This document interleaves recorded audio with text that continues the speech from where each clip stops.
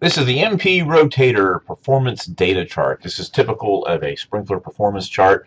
Of course, Hunter makes the MP Rotator, and they do a really good job. This is actually a, uh, I can't find a place to print this particular one. This is a, a link to their web page uh, that has these charts. They make it fairly easy. Of course, the MP Rotator comes in four configurations uh, as far as radius throw goes. There's the MP 1000 with a radius of 13 to 21 feet the MP2000, there we go. Sorry, got it mixed up there. The MP1000, I'm sorry. The MP1000 has a radius of 8 to 15 feet. The MP2000, 13 to 21 feet. There's the radius right there, if you can see it. The MP3000, 22 to 30 feet, and the MP3500, 31 to 35 feet. Now, if you go back here, let's go back to the MP1000. Let's look at this chart in a little bit more depth. Over here on the left, you see the uh, arc configurations. You've got 90 degree, the quarter head, 180, half head, 210, 270, and a 360. And also, they don't have it here, there's also a variable one out there. Next column, pressure, PSI, pounds per square inch. You've got uh, pounds per square inch on the sprinkler. They give you ratings for actually 30 to 55 pounds per square inch. As you know, pounds per square inch has a, an effect on the throw the more pressure, of course, the more uh, the, the, further your radius will go out there. The recommended PSI for the MP rotators, though, is 40 PSI. You'll notice that right there. And uh, a question might come up, well, how do I get 40 PSI? Well, a pressure regulator. That's one thing you can do is get a 40 PSI pressure regulator.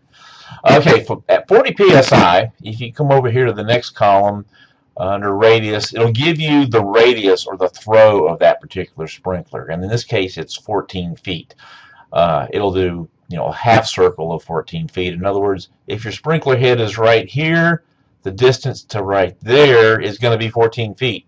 Now the diameter, of course, is going to be twice that, 28 feet.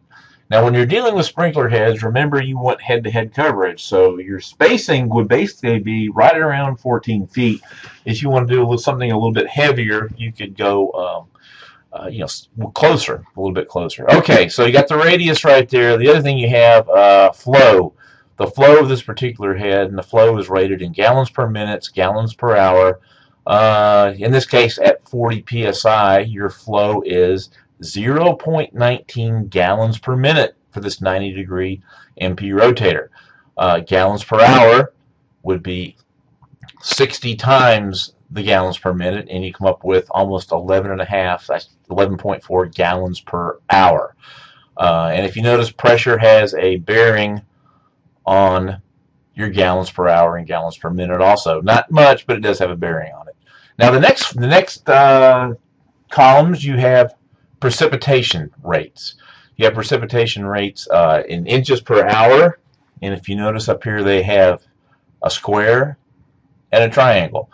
And what does that mean? Well, under the square, that means that those particular sprinkler heads are in a square pattern. In other words, they, they actually make a perfect square pattern.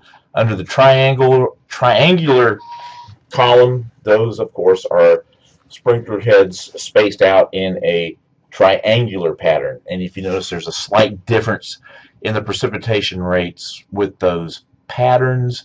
Uh, the triangular pattern having a little bit heavier precipitation rate. And of course the precipitation rate is inches per hour. That's how much uh, water, irrigation water, is falling on the ground in an hour. Uh, one thing you notice too that these, despite the arc on these, they all have the same precipitation rates at the different pressures. In other words, if you look down here at 40 for a 270, 0.39, 40 for a 180, 0.39, and 40 for a 90 degree, 0.39. All these sprinkler heads, the MP rotators, have matched precipitation rates, so you can you can mix them on his own and not worry about having a uh, a non-matched precipitation rate problems like dry spots, wet spots, things like that. So anyway, this is the Hunter um, sprinkler performance charts, and I'll show you some more in another presentation for spray heads and, and rotors.